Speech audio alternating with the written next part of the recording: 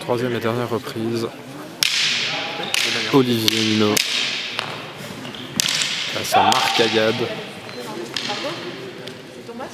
Qui sera mon second alors? Oh, jolie touche. Beau changement de rythme. Ah bah voilà, c'est sûr. Pas de soucis. Faut vraiment faire attention aux parades des lions. Parades qui sont très très stressés à la limite du chassé. Beau, beau flanc encore une fois. Point de pénalité jaune pour trajectoire. Bébé dans le champ.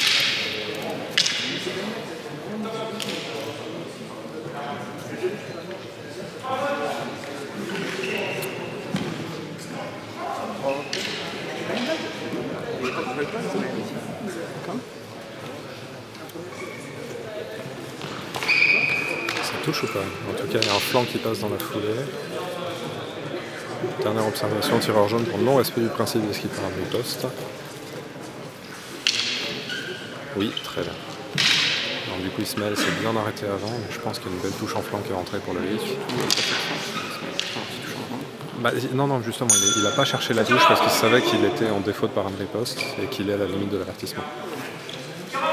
Mais du coup, au lieu de s'arrêter en ralentissant, il aurait peut-être dû euh, juste euh, se relever et sortir du champ. Non, trop proche ça. Dernière observation, tireur bleu pour, je ne sais pas, reprise peut-être.